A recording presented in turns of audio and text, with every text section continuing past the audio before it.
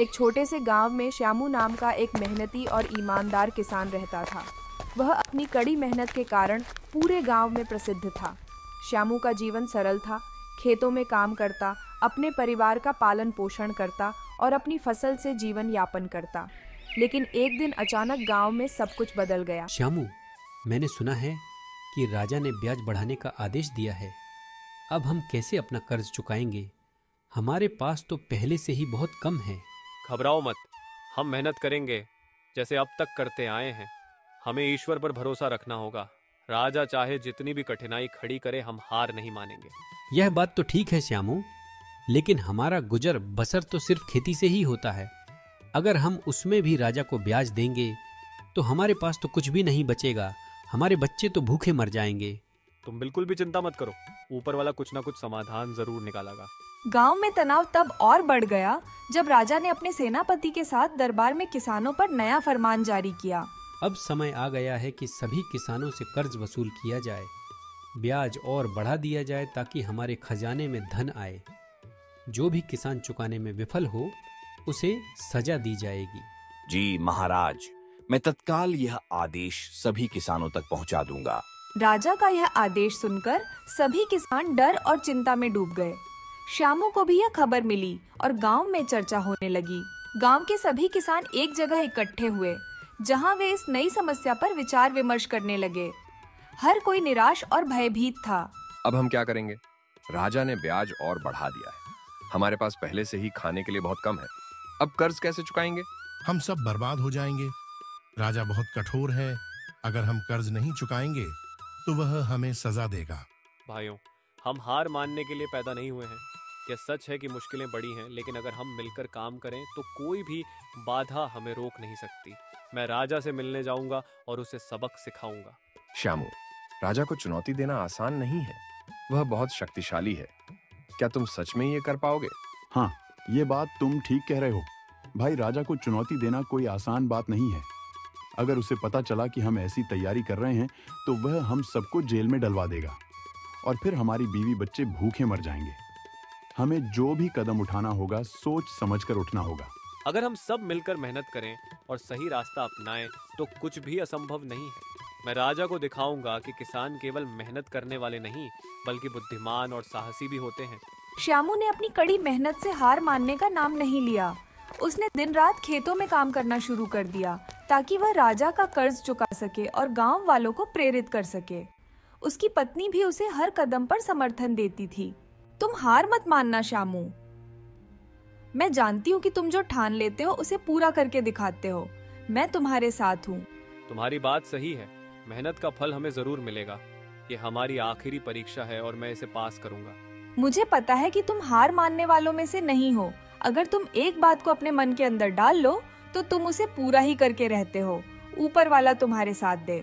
बस दुआ करो कि हम सफल हो जाए और हमारे सभी किसान भाई मेरे पीछे पीछे मेहनत करने लगे। हम सब मिलकर दिखला देंगे कि मेहनत से सब कुछ हो सकता है और राजा को हम अच्छा सबक सिखाएँगे।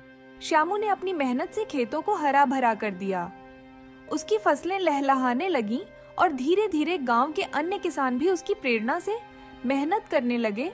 श्यामू की मेहनत देखकर गाँव के बाकी किसान भी प्रेरित हो गए।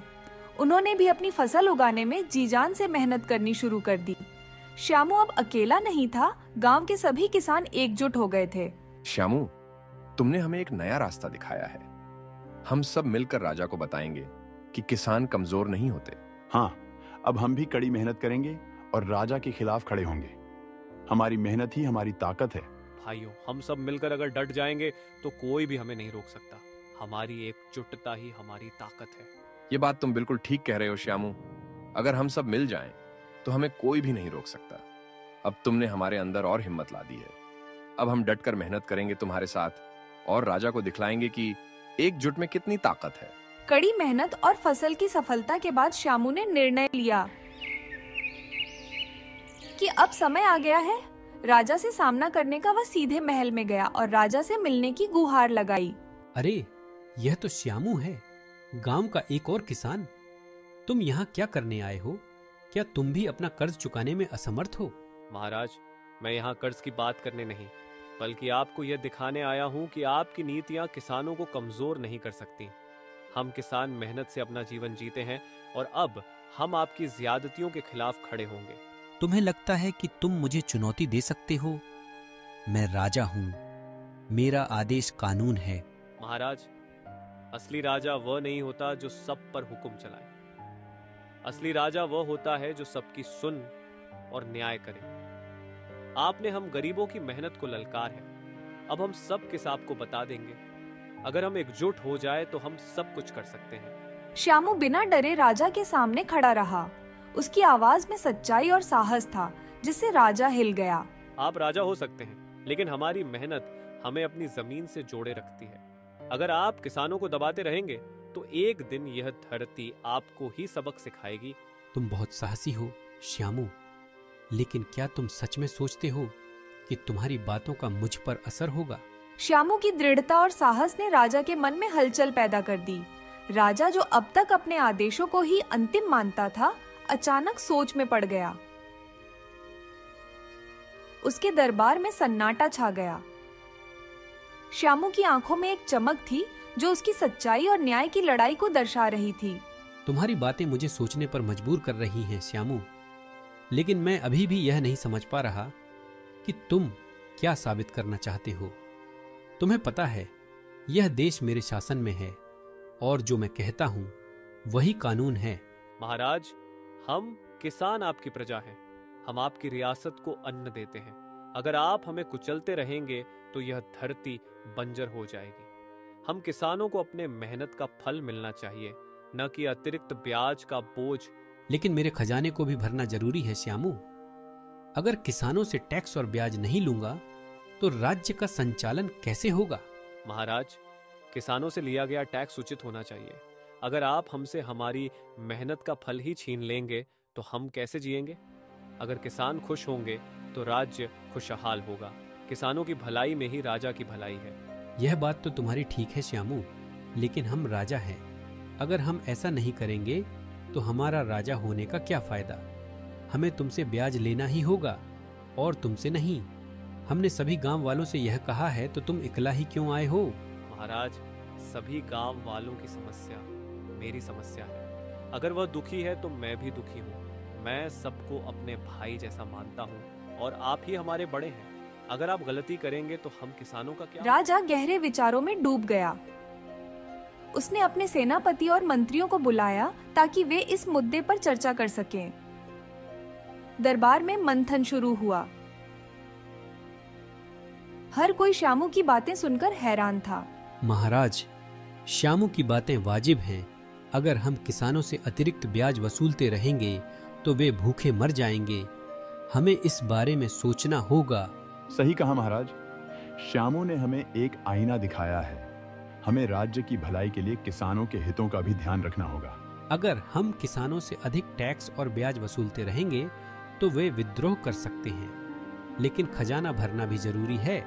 महाराज, क्यों न हम किसानों के साथ एक समझौता करें। उनके उत्पाद का उचित मूल्य तय किया जाए और ब्याज दर को थोड़ा कम कर दिया जाए, ताकि वे राहत महसूस करें। इससे राज्य भी खुशहाल रहेगा। राजा ने आखिरकार निर्णय लिया। उसने श्यामू और गाँव के अन्य किसानों के लिए ब्याज कम करने और टैक्स की दरों में भी छूट देने का आदेश जारी किया। किसानों में खुशहाली फैल गई। श्यामू के साहस और मेहनत ने गाँव को नई दिशा दी। श्यामू, तुमने हमें सही रास्ता दिखाया। मैं तुम जैसे लोगों का आभारी हूँ, जिन्होंने हमारी आँखें खोली तुमने जो साहस दिखाया है वह काबिल तारीफ़ है। अब से किसानों पर कोई अत्याचार नहीं होगा। महाराज ये आपकी महानता है कि आपने हमारी बात सुनी और सही निर्णय लिया। अब हमारे खेतों में खुशहाली लौटेगी और हम आपके राज्य को और समृद्ध बनाएँगे। श्यामू की जीत के बाद गाँव में उत्सव का माहौल बन गया। सभी किसान अब खुशी खुशी अपने खेतों में काम करने लगे। राजा के साथ उनकी नई समझ ने गाँव की तस्वीर ही बदल दी। श्यामू गाँव के हीरो बन गए। श्यामू तुमने हमारा जीवन बदल दिया। अगर तुम नहीं होते तो हम राजा के अत्याचारों के नीचे दबे रहते। अब हम अपनी मेहनत का पूरा फल पाएँगे। श्यामू तुमने हमें दिखा दिया कि एक आदमी भी बदलाव ला सकता है। अब हम अपनी मेहनत का पूरा फल पाएँगे। श्यामू तुमने हमें दिखा दिया कि एक आदमी भी बदलाव ला सकता है। श्यामू अगर तुम नहीं होते तो हमारा पता नहीं क्या होता। हम तो अधिक ब्याज में ही रह जाते और हमारी बीवी बच्चे भूखे मर जाते यह तो अच्छा हुआ कि तुम जैसा महान किसान हमारे गाँव में है तो हमें कोई चिंता की ज़रूरत नहीं। ऐसे कई राजाओं पर तुम इकले ही भारी हो श्यामू।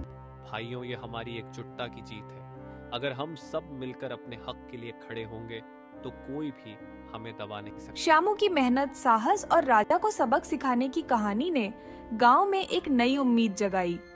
इस कहानी से यह सीख मिलती है कि कभी भी अन्याय के सामने झुकना नहीं चाहिए। एक छोटे से गाँव में एक दिन बाबा का आगमन हुआ। बाबा एक जाने माने संत थे जिनके बारे में कहा जाता था कि उनके पास दिव्य शक्तियाँ हैं। बाबा के आगमन से गाँव में एक अलग ही उत्साह था। बाबा जी आ रहे हैं। सुना है उनके पास बड़ी शक्तियाँ हैं। जो उनके पास जाता है उसकी सभी मनोकामनाएँ पूरी होती हैं। अगर सच में बाबा के पास शक्तियाँ हैं तो मैं भी उनसे कुछ मांगूँगी। मगर पहले देखूँ तो सही। ये बाबा आखिर है कौन? सीता। जो एक जिद्दी और नटखट लड़की थी बाबा के बारे में उत्सुक होती है और तय करती है कि वह बाबा को किसी तरह परेशान करेगी। बाबा का ठिकाना जहाँ लोग उनसे मिलने आते हैं। सीता ने ठान लिया था कि वह बाबा का मज़ाक बनाएगी। वह चुपचाप बाबा के पास पहुँची और तरह तरह के सवाल करने लगी। बाबा आप सच में चमत्कार कर सकते हैं। अगर कर सकते हैं तो मुझे उड़ती हुई चिड़िया पकड़कर दिखाओ। बेटी चमत्कार हमारे अंदर नहीं हमारे कर्मों में होते हैं। लेकिन सीता नहीं मानी। वह बार बार बाबा को तंग करती रही। धीरे धीरे बाबा ने महसूस किया कि सीता का यह व्यवहार अशिष्टता की ओर बढ़ रहा है। सीता की शरारतें बढ़ती ही जा रही थीं। बाबा ने बार बार उसे समझाया मगर वह अपनी हरकतों से बाज नहीं आई। बाबा आप तो सिर्फ़ दिखावा करते हैं। मुझे तो आप में कोई शक्ति नहीं दिखती। बेटी तुम्हारी इस अशिष्टता के कारण तुम्हें शराब देता हूँ। मैं तुम्हें शराब देता हूँ जो तुम्हारे जीवन में दुख और परेशानी लाएगी। जब तक तुम माफ़ी नहीं मांगोगी तुम्हें कभी शांति नहीं मिलेगी। अरे ऐसे शराब में बहुत देखे हैं। आप तो मुझे ढोंगी लग रहे हैं जो उल्टी सीधी बातें करके मुझे डरने की कोशिश कर रहे हैं। अरे ये तो भोले गाँव वाले हैं जो तुम्हारी बातें समझ चुके हैं लेकिन मेरी समझ में नहीं आती तो मैं आपको नहीं मानती। मूर्ख लड़की तूने हमारा दिल दुखाया है। अब हमारा शराब तुझ पर से नहीं हटेगा। अगर तू माफ़ी मांगने आएगी तो ही मैं अपना शराब फटाऊँगा। वरना तो तेरी ज़िंदगी में दुख और मुसीबतें ही रहेंगी। बाबा के श्राप के बाद सीता का जीवन पूरी तरह से बदल गया। उसे हर काम में असफलता मिलने लगी और वह हमेशा उदास रहने लगी। मैंने बाबा को क्यों तंग किया? मेरी ज़िंदगी बर्बाद हो गई है। मुझे अब शांति नहीं मिलती। सीता अपने दिन रात इसी चिंता में बिताने लगी कि आखिर कैसे वह बाबा से माफ़ी मांग सके। आखिरकार सीता ने महसूस किया कि उसे अपनी गलतियों का पश्चाताप करना चाहिए। वह बाबा के पास जाने का निश्चय करती है। मैंने बहुत बड़ी गलती की है। मुझे बाबा से माफ़ी मांगनी चाहिए। शायद तभी मेरी परेशानियाँ खत्म होंगी। बेटी बाबा महान है। अगर तुम सच्चे दिल से माफ़ी मांगोगी तो वह ज़रूर माफ़ कर देंगे। ठीक है माँ। अगर आप बोलते हो तो मैं बाबा के पास जाऊँगी और उनसे सच्चे दिल से माफ़ी मांगूँगी। सीता बाबा के पास गई और उनके चरणों में गिरकर माफ़ी मांगी। बाबा मुझे माफ़ कर दो।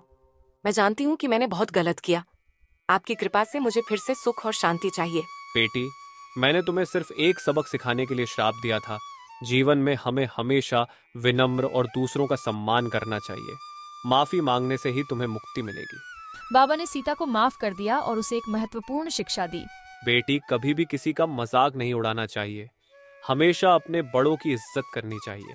अगर तुम ऐसा करोगी तो मेरा आशीर्वाद तुम्हारे साथ रहेगा और तुम्हें कभी भी किसी चीज़ की ज़रूरत नहीं पड़ेगी।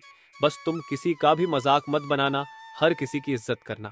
बाबा आपने मुझे सिखा दिया कि हमेशा अपने बड़ों की इज़्ज़त करनी चाहिए। मैं आपकी बात मानूँगी और रात से सबकी इज़्ज़त करूँगी। आपकी वजह से ही मुझे एक नई दिशा मिली है। मैं आपका एहसान कभी भी नहीं चुका सकती। तो दोस्तों इस कहानी से हमें क्या सीख मिलती है? कभी भी किसी का मज़ाक नहीं बनना चाहिए चाहे कोई भी हो। हमेशा उसे हंस खेल कर बात करनी चाहिए। अगर किसी को उल्टा सीधा बोलोगे तो वह कुछ ना कुछ शराब से ही देगा। इस मारे किसी का दिल नहीं दुखाना चाहिए। अगर वीडियो अच्छी लगी हो तो वीडियो को लाइक कर दें और चैनल को